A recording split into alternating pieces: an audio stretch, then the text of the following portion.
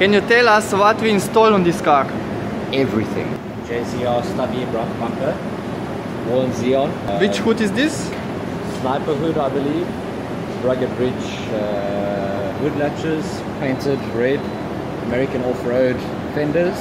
Custom uh, Custom Slickers? side marker lights. okay. 37 inch Cooper STT Pros. Automatic. Power steps.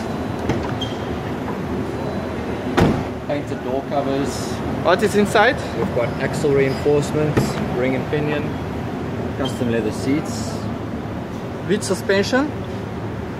Suspension is Teraflex with Fox shocks. Rugged Ridge tail lights. Which exhaust? Gibson. And this Rugged is Ridge tie carrier. Bestop uh, tire organizer. And a random sticker. The most important part. and what is under the hood? Sprintex supercharger. Thank you.